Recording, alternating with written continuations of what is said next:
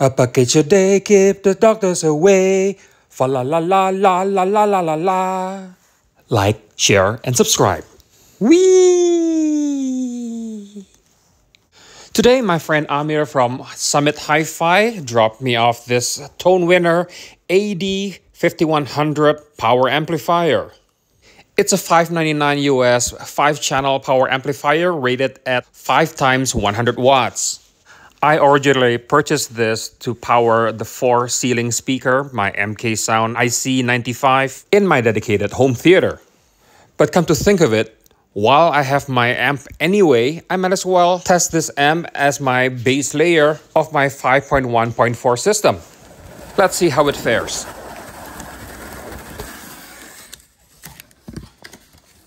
Cleanly and nicely packaged.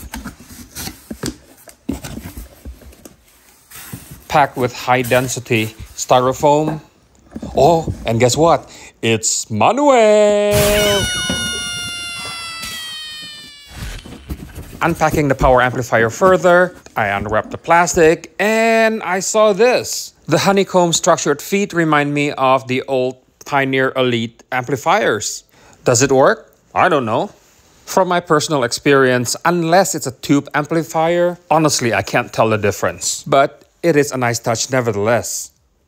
So here it is, the fascia of Tone Winner AD5100. Sorry about the grainy cam. So here it is again, this time with a lot less grain. And that brushed aluminum finish, absolutely astonishing. From the top, you can see the heatsink very clearly. And to the left of that, you can see two large fans. They work variably depending on the temperature of the amp. Here's the picture of the back. RCA inputs all over. Five five-way binding posts with banana plug compatibility and an auto voltage switching power input and a 12 volt trigger input. Yes, there's no XLR input, mostly because of cost factor. But seriously, the distance between your pre-pro to your power amp, it's not going to be more than 2 or 3 feet anyway. So there's no advantage in using XLR connection other than for bragging rights. Also included in the package is the AC power, obviously, two prong, 2 meters, and a pair of RCA cables. And now, let's void my warranty! I took off the top panel of this amplifier and it's mm, rather impressive. You see that giant toroidal power supply? Mmm, donut. And right next to it, you see two cooling fans angled up, blowing towards the oversized solid aluminium heatsink. For merely 5.99 US MSRP, this type of build quality simply never existed. And I see those amplification ICs connected directly to the motherboard and also connected to the heatsink at the same time in order to dissipate the heat. I'm sure some of you guys know exactly what type of uh, IC or transistors being used over there. So if you do know or you have any inkling whatsoever, please help me identifying them by writing your thoughts in the comments down below. Thank you. Meanwhile, well, just enjoy the tour of the inside of the amplifier.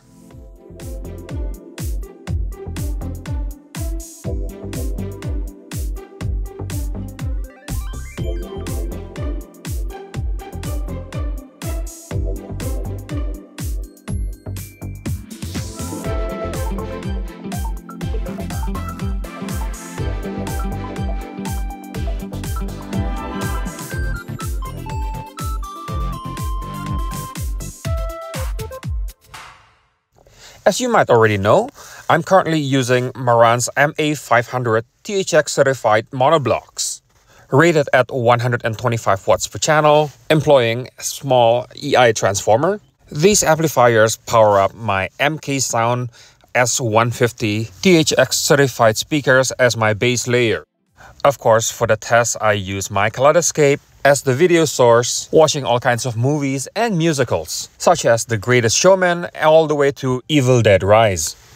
And after I connected my Pioneer Elite SC-LX704 to the Tone Winner AD5100 using Vermouth Black Pearl RCA cables, I'm ready to listen to the Tone Winner AD5100. Anyone got an accordion?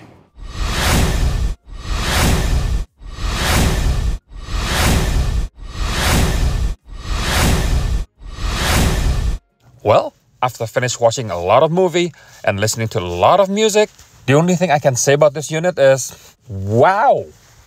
I mean, I already expected this unit to be good, but I never expected this unit to be better than Marantz 7055 at more than double the price.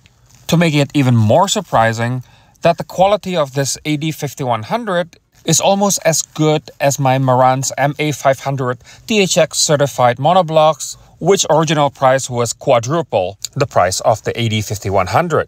And thus, ladies and gentlemen, it makes this unit an absolute winner.